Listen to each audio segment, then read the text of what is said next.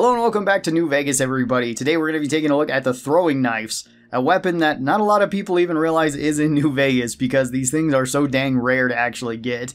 So, the throwing knives are one of the few throwing weapons in the game, but they're definitely not the most popular and they're definitely not one of the most common. That would probably go into throwing spears that are the most common and likely the most popular too. Throwing knives are extremely rare and you can only really buy them from a couple of vendors around the wasteland. So you're probably not going to be finding these very often, especially if you're not paying attention, because certain vendors sell them, like Crimson Caravan can sell them, uh, Mick and Ralph can sell them. There's a couple of other people that can sell them, but most people don't sell a whole lot of these. They sell like five to ten of them max, and you're going to need quite a lot of these to make them really effective since they're definitely more of a spam weapon than anything else.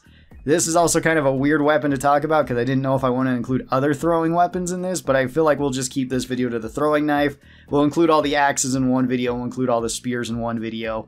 And yeah, we'll, we'll just do that for the throwing weapons. This one's kind of like the oddball out. So the throwing knife requires zero melee to use effectively and only one strength. So any character can use throwing knives effectively, which is pretty awesome. These are also a normal sneak-in weapon. I believe Mr. Holdout on the strip actually sells these. So you don't even need any sneak, you can just sneak these in regardless of your sneak level, which is pretty cool. The throwing knives do 15 damage per hit, which is fairly low, but it's not the worst for a melee weapon. They do 48 damage per second. You can actually throw these fairly quick at enemies, and it feels pretty satisfying to do so. This does 15 crit damage, so it's not super high there, although it does have a 2 times crit modifier, so it has an extra chance of critting, which is awesome. Uh, on a melee crit build, this isn't too bad. This costs 20 action points to use, making it pretty decent in an action points build, assuming you get enough of these to actually throw them, but you can throw quite a lot of them in VATS. VATS with the thrown weapons does feel kind of weird though, because the enemies aren't always slowed down in VATS the same way you are, and sometimes that makes it so when your person would throw this, it might count as like throwing over something, or if an enemy's like really right up in your face, your person can just toss it right past them, and it seems to just like hit the floor next to them somewhere. So that can be kind of frustrating if that happens. As well as since this is a throwing melee weapon, it's not like regular melee where there's just the either you have a 0% chance of hitting or the 95% chance of hitting an enemy. This is based on limbs. So you don't just hit the entire body, you can actually pick where you want to throw this at it. So that can be kind of useful. These weigh half weight each, so they're the same as like grenades which does also make them kind of awkward because you're probably going to want to carry a lot of these around. And whereas like grenades, you can carry around a couple, maybe a dozen of them, and it's not really going to weigh you down. Carrying around like 20, 30, maybe even 50 throwing knives will actually weigh you down a decent amount. You can uh, kind of help this if you have the perk Pack Rat. That does help because then you'll cut the weight in half.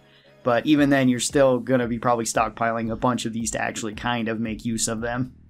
For the pros of these, they actually do have pretty good damage per second, and they are a sneak-in weapon, which is really cool. You don't need any perks or anything for it, or, or I guess uh, up to level 50 with sneak with it, so that is pretty awesome.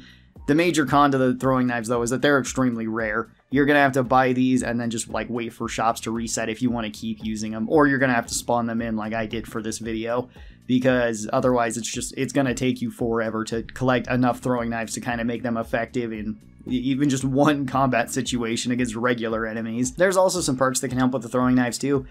Certain melee perks do actually help with throwing knives, like Piercing Strike does. It actually gives armor breaking on this and all throwing weapons, so that is pretty cool if you want to take that. But then something like Super Slam doesn't affect these at all because you can't knock down enemies with the throwing weapons. So that one won't help unless you're going with a mixed melee build where you're actually using regular melee and thrown melee, in which case then that one's still really good. I don't think Slayer affects these. I could be wrong about that. I haven't actually really tested it, but I don't think so because that would be attack speed and not really like thrown speed. Heave Ho does work with this where you can throw these further than you otherwise would, but there is something that's kind of bizarre about like throwing knives and throwing axes, and that's the way in which your person kind of throws them or the way in which they kind of tumble through the air. Because normally they'll throw them and they'll tumble end over end at an enemy, but after so long, then they'll just start flipping to uh, horizontally and spinning like this at an enemy and it gets really strange and the hitbox seems kind of wonky especially in that like middle area where it's turning the weapon i don't know why that is it doesn't affect throwing spears but it does affect throwing axes and throwing knives so that's just something to kind of keep in mind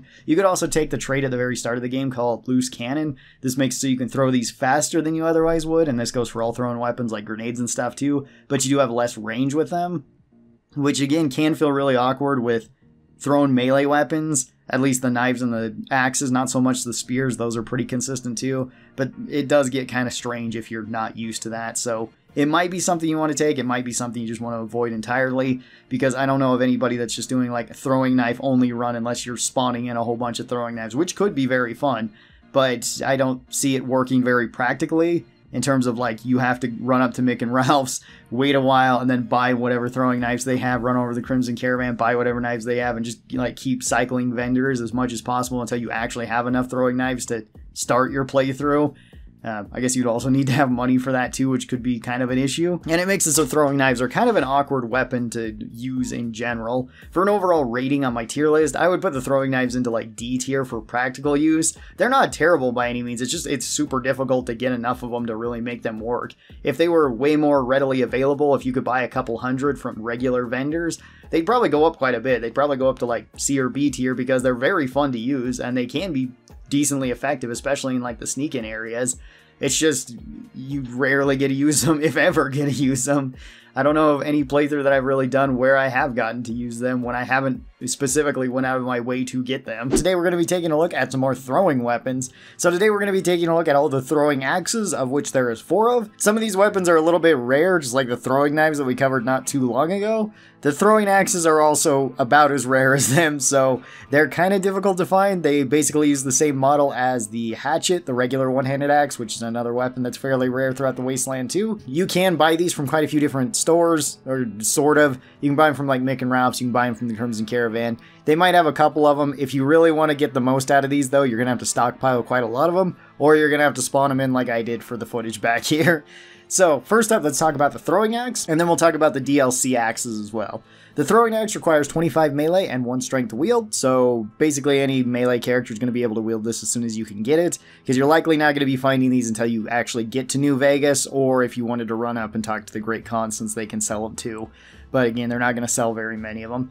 Either way, 25 melee is pretty uh, manageable and 1 strength is perfect. This does 20 damage on hits, which is okay. That's alright for a throwing weapon or a melee weapon. 18 damage per second. These do take a little bit of time for a uh, swing up, as well as you actually have the distance where they have to throw, so you're not going to have tons of DPS, and if enemies are actually like right up next to you, it's kind of hard to hit these. Sometimes you'll just throw over the top of them, and that's really awkward. As well as at a certain distance, then any of these just disappear. So you have to make sure that you're throwing them at the right distance. This does 20 damage on crit, which is pretty decent. That's uh, the same as its regular damage, so that's kind of to be expected. Has a 1 times crit modifier, which is perfectly fine. Nothing crazy there. Costs 22 action points, which is pretty low. The throwing axes are actually pretty decent in VATS, and that does help them as well as just like the throwing knives. This isn't like regular melee where you just either hit the body or don't hit them at all. This is to where you can hit them in any of their limbs, same way you would with guns or energy weapons.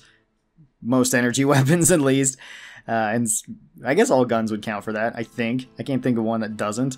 Uh, these weigh two weight each, which is kind of heavy for throwing weapons. Most throwing weapons don't weigh that much. Most throwing weapons are like half a weight, and that's what kind of makes them nice. The throwing axes are two weight, so you can cut them in half with Pack Rat, and that helps, but it's still one weight. So you're still gonna have to carry around a lot of these to make them kind of useful, and they're kind of kind of be heavy, which is weird. Also, all the axes have bonus limb damage on them too. All throwing axes get a 1.5 times uh, extra limb damage, and if you dismember something with the axes, then you just instantly kill them. So that's pretty nice. For the general pros of the throwing axes, these are pretty fun, and they have decent DPS. Uh, kind of all the axes do, even though the DPS seems a little bit low in terms of like practical DPS, it's still fairly decent at like medium range where you'd be throwing these at enemies. They also work pretty well against melee enemies since you can usually outpace melee enemies and just keep chucking them into them. That's pretty nice. For the cons, these are extremely rare. They're very hard to find. They're just difficult all the way around. The DLC axes that we're going to be talking about here in a second are much easier to find in most cases, so they're not as bad, but the throwing axe, for whatever reason, is really hard to find. They also do kind of lowish damage, which may not matter, but it just might not be worth the weight to carry these around for the amount of damage that you're getting, so... The throwing axes by themselves, on my tier list, I think I'd put them into like C tier. They're okay, so long as you can get enough of them. Similar to like throwing knives, where throwing knives would honestly be quite a bit higher, probably better than the throwing axes. But these things are so dang rare to actually find that it's just not super practical to actually be using them in the first place. Let's move on to the DLC axes. First up, let's talk about the Proton Axe and the Inverse Proton Axe, which is the unique version of this. You can find this in Old World Blues, and these ones you can actually, at least the Proton Axes, you can find pretty regularly. They're around quite a few spots on the map. Sometimes the lobotomites can have them, so you can have an infinite supply of them, which is pretty awesome. You can also use these to fix up the full-size proton axe too, which is kind of cool. So if you find that and you find one of these, you can fix it up super easy, which is awesome. You don't need jury rigging for that either. Proton axe also requires 25 melee and 1 strength in order to wield it, which is the same as the regular axe. Nothing crazy there. The Proton Axe does 40 damage per hit, which is quite a bit better. That's double the throwing axe. 32 damage per second, which is still kind of low, and that's just because of the, the throw time. These all have the same throw time, so they have roughly the same DPS. Uh, at least ratio to damage. This one does 29 crit damage, which is kind of weird. I don't know why it has that damage. Usually crit damage is the same as regular damage, but this one's lower for some reason. One times crit modifier, so that's normal. The regular proton axes only take 20 action points to use, which is also a little bit strange. They're the least action point intensive out of any of these throwing axes, which is good, makes so you can throw them more often.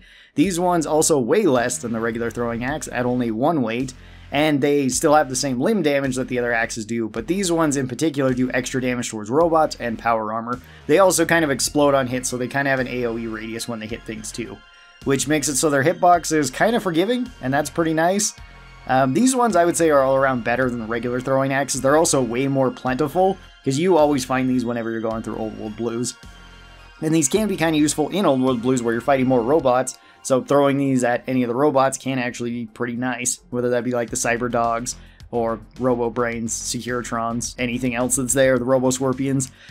The Proton Axes are actually pretty decent. These ones, I would say, are a bit better than the regular throwing axes. I would put them up a tier. I'd put them up into B tier. They're still not super practical because they are still going to be kind of weighing you down. They are one of the more practical melee thrown weapons, but I don't think they're quite as practical as like throwing spears. Those would probably be the most.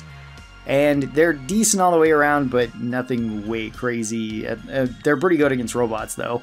The inverse axes are the unique versions of these, and these are extremely limited. You only get like six of these in the DLC, so make them count, I guess. These ones also require 25 melee and 1 strength, just like the regular proton axes. These ones do 60 damage on hit, so they do actually a good amount of damage. That's pretty high damage per hit. 53 damage per second, which is pretty decent. Also have a 29 damage crit, which is a little bit strange. One times crit modifier. Take 22 action points to throw in VATS, so they take a little bit more than the proton axes, the same as the throwing axes and they also weigh one. They also do extra damage towards robots, and these ones are purple instead of blue. These ones are a straight upgrade from the Proton Axe, but like I said, you barely get any of them, so I'd also throw them up into B tier on my tier list. They're decent, but you're not going to notice a huge difference between them and the regular axes, probably because you're just not going to be able to use them. So maybe you want to keep one as a souvenir or something since they are limited. And then the last DLC axe is the Tomahawk. The Tomahawk requires 50 melee, which is more than the other ones, and it also requires 3 strength. The Tomahawk also looks very strange, where it's just a pipe with some feathers, an electrical cord wrapped around it, and some railroad spikes that are being thrown. Strange combination for a, a Tomahawk, but I do like it. I think it's a really cool design for the Wasteland. These ones do 30 damage on hit. They do 20 damage per second, which is okay. 30 damage on crit, making them the highest crit axe out of any of the thrown axes, weirdly enough. These ones also have a one-times crit modifier, same as all the other ones. This costs 23 action points, so it costs the most action points, but it's still fairly low, so they're still good in VATS. And these ones do only weigh half a weight, which kind of makes them sort of like the best go-to throwing axe, especially since tomahawks are super common in Honest Hearts, at least the first time through. If you're going back to Honest Hearts, then they're not as common because most of the time the White Legs have them. So if you can get a bunch of these and carry them into the Wasteland, then that's kind of cool. They still do the extra limb damage as well as the regular axe, and it does make them a little bit better, at least better than the regular throwing axe, so I'd put these also up into B tier with the proton axes. The axes are all kind of interesting. They can all be decent in their own way. We should also probably talk about perks for these too, because I forgot about that. There are at least like three perks that kind of count towards these. First up would be Heave Ho. Heave Ho is pretty good because it just makes so you can throw these further, and that's really nice for the throwing axes because the axes will topple end over end towards an enemy up to a certain point, and then they will start turning and going horizontal. It's kind of awkward once they start turning horizontal. You kind of want to be hitting things at that end over end stage, I find that just to be a lot easier and a lot more consistent when I'm hitting enemies. But Heave Ho makes that distance is a little bit further, and that does help. Piercing Strike also helps with these because it can just give armor breaking to any of these, so that's pretty nice since they are still melee weapons. Things like Super Slam don't work for throwing weapons though, you can't just knock enemies down, although I wish you could because that would make it really, really fun. Also, the Cowboy perk helps with this. The throwing axes and the tomahawks count towards Cowboy. The Proton and the inverse axes do not.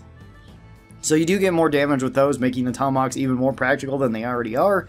Proton axes are still pretty good. Throwing axes do get a little bit better with that, but again, they're super rare. I don't think this would really change the placement of any of them, and the placement is usually based on how strong I think they can be in total. And the throwing axes can be decently strong, but they're not going to be incredibly strong um, compared to other like melee and unarmed weapons, especially more traditional ones more so than the throwing ones, since once you throw these, then that's kind of it, and you just need to buy more of them. Anyway, would I recommend the throwing axes? Sure, you can get them. Uh, if you find them, they're pretty fun. Are they really strong? They're okay. So if you're going to the melee build, by all means try it out. If you're not going to the melee build, you still might want to chuck a couple at enemies. Proton axes are still pretty decent for old world blues. Tell me your thoughts on the throwing axe and all of its variants in the comments below. I'd love to hear that. Hello and welcome back to the channel, everybody. Welcome back to New Vegas, where today we're going to be taking a look at the throwing spears. There is two throwing spears. There's the regular throwing spear, and there is the knife spear, because I figured we'd just kind of group these together since they're both fairly similar to one another. The throwing spear is probably going to be the most common throwing item that you find in the entire game, outside of like grenades because at least people like Caesar's Legion and the White Legs and Zion can't carry around throwing spears. The knife spear you can find in Dead Money, and the Ghost people will have this on them, and it's one of the more common weapons that they will have as well. So let's go over the stats of the throwing spear, and we'll kind of go over the pros and cons to both of these. For the throwing spear, this one requires 25 melee and 1 strength wield, making it so basically any character can use throwing spears pretty effectively. It's not hard to get 25 melee, and even if you're going with like a guns build, you're probably going to get that just to get like cowboy with it. So most builds are going to be able to use this. The throwing spear does actually do a decent amount of damage per hit. It does 50 damage on hit, which is quite high. This one does 30 damage per second because you can't throw these super fast and there still is the travel time of the spear actually hitting the target. So not the most amount of damage per second, but they can be good for initiating a fight or ending a fight.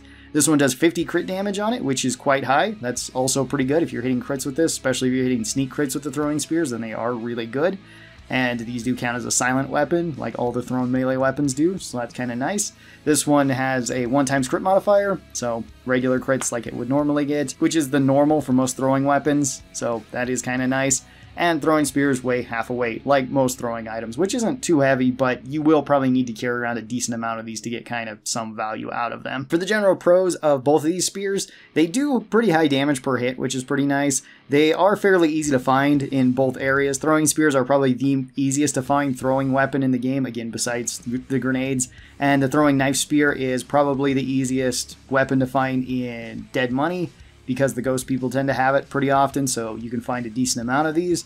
They are both pretty decent on action point cost too, so if you want to be hitting limbs, then you absolutely can. And unlike throwing explosive weapons where you can't really target limbs, you can with the throwing spears, which is actually really good for the knife spear because that one has extra limb damage on it. We'll talk about that when we go over the stats for that. The major con for these, though, is that you're going to have to get a lot of them to kind of make them useful, and that's going to weigh you down a decent amount. You can take something like Pack Rat. Pack Rat is really good for these and for any thrown weapon because that will cut its weight in half. So these go from half of a weight to a quarter of a weight. You can carry quite a bit more then, and they don't weigh you down as much. If you're going with a dedicated melee build, then the weight might actually not matter that much because you probably won't be carrying around a whole lot of different weapons. So you probably will have extra weight to spare and if you want to carry around throwing weapons, that is an option. There are some perks too that help out with these. Heave Ho is really good because it makes so you can throw these even faster or further faster, which is really good. That helps even with explosive weapons too, so that's nice. You have Piercing Strike that can help out with these as well because they still count as melee, so you can get armor breaking on them, so that's pretty good. Other melee perks don't really work with throwing spears, like Super Slam doesn't work and Slayer doesn't work. It doesn't give you a faster attack speed or anything like that, but Piercing Strike does actually help. And then you can also have Pack Rat just to cut the weight in half of these, which is pretty useful on any difficulty. More useful in the hardcore difficulty, but still of some use even in the regular difficulty, which is nice. For an overall rating for the throwing spear, I think I'm actually going to put the throwing spear up into A tier. I think it's actually good enough to be up there because it's really the only practical thrown melee weapon that can really be of any use during a playthrough. Even though the other ones can be pretty decent, like the throwing axes are fun, the throwing knives are very fun, you just don't get very many of them. You do at least get a decent amount of throwing spears, and they can be useful. There's no way I could put this all the way up into S tier, though, because it, it's just throwing builds are not very practical in the first place. Maybe throwing explosive builds, because you can at least make like the MFC grenades, and they can be fine. But throwing melee builds just aren't really that practical outside of mods making them more practical to where you can either buy more of them, make more of them, or to where you can have like uh, ones that respawn after so long too. I've seen mods for that as well. But in the base game, throwing spears are like the best you can get and still wouldn't be like an ideal choice for a melee build or for a throwing weapon build. Let's talk about the knife spear now that you find in Dead Money. This one also requires 25 melee and 1 strength to wield, same as the regular one. These ones do look a little bit different because it's just one of the cosmic knives that's been lashed onto a, a, broom handle or something with rope, and the ghost people will throw this at you. It can actually do decent damage if they hit you with it, although it also works the reverse too against ghost people. Since it has extra limb damage, that's really nice, and that's usually what you want in most weapons when fighting the ghost people. So this one does 42 damage per hit, less than the regular spear, but still fairly high. 20 damage per second. They throw basically at the same speed, so it's going to have less DPS. This one does 42 damage on crit, same as its regular damage, and also pretty decent. One times crit modifier. For some reason, these take more action points to use at 28 rather than 24. I'm not sure why that is. I mean, they are more useful in VATS in Dead Money, but outside of Dead Money, not as much. Then they're basically the same as throwing spears just a, a, little bit weaker. These ones also weigh slightly more than regular spears for some odd reason. Rather than weighing half weight, they weigh 0.65 weight, so they can weigh you down even more than regular spears. They are, I guess, better than for pack rat because you're just getting more weight reduction from them. So that's kind of nice. You're still probably going to have to carry around a decent amount of them. And these ones do double limb damage, which is really good for the ghost people because you want more limb damage against them since if you tear off a limb from them, then you automatically kill them. That can be really useful, and these can be pretty decent in dead money if you want to be taking out the ghost people with them. They're not your best option because the bear trap fist still exists, and I guess technically the, the fist of Rawr exists.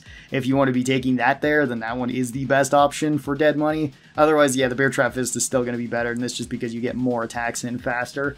And if you're going with a melee build, you're probably also going with an unarmed build. So the knife spears are okay. You can at least get a decent amount of these in dead money and take them back to the wasteland so that you can kind of use them. It's not uncommon to have like 50 to 100 of these once you get back to the wasteland, especially if you're storing them somewhere in like the, the main villa of dead money. That way you can take them all back. I always store a bunch of my stuff in like the garbage can there so I can just take it right back. For an overall rating for the knife spear, though, it, it would probably be lower. I would say this thing's like B tier. It's still somewhat practical, but it's uh, probably no more practical than like throwing axes are for most uses. It's less useful than the throwing spear. The throwing spear you're going to find more of, and there's not a limited amount of them. There's technically no limit on the knife spears either from dead money, but you can't go back to dead money. So actually getting them, it, it is basically limited then. The throwing spears, you can just keep killing like Caesar's Legion members and keep taking it off of them and using that.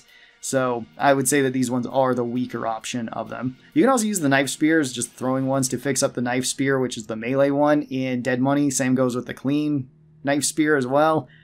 If you weren't aware of that, then that's pretty awesome. You don't need jury rigging to do that either, that which makes them even better in that regard. At least if you really like those weapons. I don't think those weapons are crazy either, but it is another option that you get. So would I recommend the throwing spear and the throwing knife spear? Throwing spear, yeah. Throwing knife spear, sure, if you're in dead money. Outside of that, probably not. The throwing spear is the best thrown option, or the thrown melee option in the game, but even then it's still kind of just okay in a lot of situations. Tell me your thoughts on the throwing spear down in the comments below. I really enjoy using this. Do you? And I hope to see you next time. Take care, everybody. Bye-bye.